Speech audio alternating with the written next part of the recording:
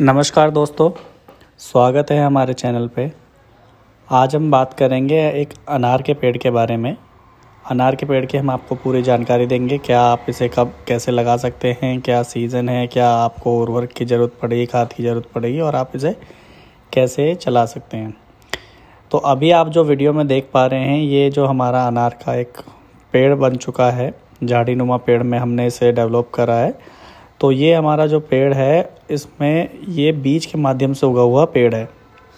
तो आपको ये फ़र्क ज़रूर पता रहना चाहिए कि बीज के माध्यम से जो पेड़ उगते हैं, उसमें फल आने में काफ़ी टाइम लगता है, कम से कम तीन से पाँच साल भी लग जाता है, ठीक है।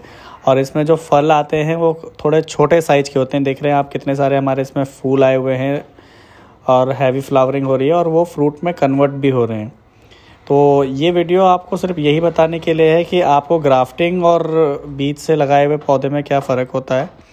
तो आप इस पे देख पा रहे होंगे, हमारे हैवी फ्लावरिंग हो रही है, इसमें जो फ्लावरिंग फ्रूट्स में कन्वर्ट भी हो रहे हैं तो ये बीज का पौधा है। अगर हम ग्राफ्ट की बात करते हैं तो ग्राफ्ट का पौधा इतना बड़ा नहीं होता और उसमें जो फ्रूट्स आते हैं, वो काफ़ी साइज़ में बड़े होते हैं।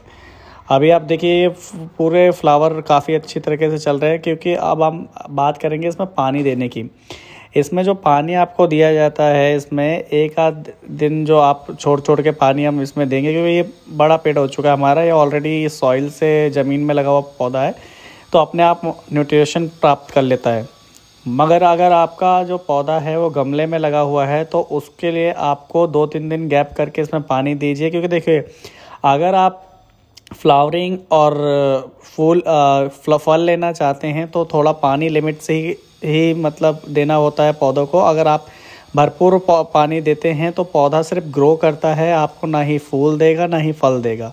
सिर्फ़ वो ग्रोइंग पीरियड पे रहेगा हरदम अगर आप देखते हैं उसमें ज़रा सा भी फूल कुछ आ रहे हैं तो आप उनमें पानी देना थोड़ा कम कर दें और पानी ना के बराबर ही दें, ताकि वो फूल से फल में कन्वर्ट हो और थोड़ा जो कन्वर्ट होने के बाद जो रुक जाता है, फल आपका गिरता नहीं है, उसके बाद आप पानी देना स्टार्ट करें। ये हमारा ज़मीन में लगा हुआ पौधा है तो इसमें हम सात दिन में एक, हफ़्ते में एक बार पानी देते हैं, जो काफ़ी अंदर तक इसके जाता है। काफ़ी जड़ों में अच्छी तरह के जो डीप एक, वाटरिंग हो जाती है। और बाकी हम तीन तीन दिन में दो दो दिन में जो देते हैं, वो नॉर्मली ही वाटरिंग के लिए देते हैं।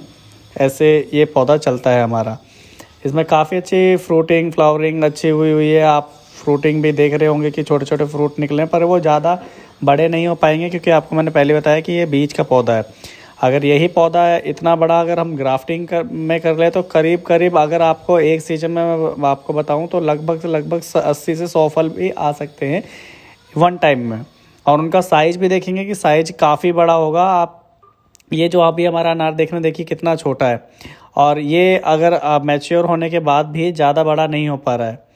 आप, मैं अभी आपको बड़ा साइज़ का भी दिखाता हूँ। देखिए, ये बड़े साइज़ का है। इसमें कुछ गिलेरियो वगैरह से बचाना होता है, देखिए। नहीं तो वो ऐसे ही फल को आपके ख़राब कर देती हैं।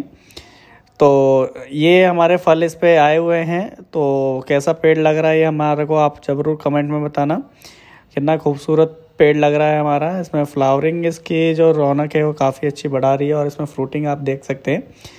तो इसका जो हम हार्वेस्टिंग करेंगे, अभी दो से एक से दो महीने में हार्वेस्टिंग करेंगे, ये हमारा जो फल है, उसकी हार्वेस्टिंग करने के बाद हम भी, हम आपका ज़रूर वीडियो शेयर करेंगे आपके साथ। अभी आप, अगर आप गमले में पौधे को चला रहे हो तो आपको मैंने बता दिया है कि उसमें आप, रही बात खाद की तो खाद आप सिर्फ़ कंपोस्ट खाद दीजिए। कंपोस्ट खाद एक ऑलरेडी मतलब फिफ्टी परसेंट न्यूट्रिशन प्राप्त हो जाते हैं किसी पौधे को उसके थ्रू और भी अगर आप फर्टिलाइज़र यूज़ करना चाहते हैं तो फर्टिलाइज़र बहुत सारे हैं। आप नॉर्मल वर्मी कंपोस्ट यूज़ करिए। आपके फ्लावरिंग पे के बाद आपके फल टेकना स्टार्ट हो जाएँगे अनार के। तो इसको भी आजमाए दोस्तों, और वीडियो कैसी लगी हो, उसे लाइक करें। चैनल को हमारे सब्सक्राइब करें। तब तक के लिए हैप्पी गार्डनिंग नमस्कार।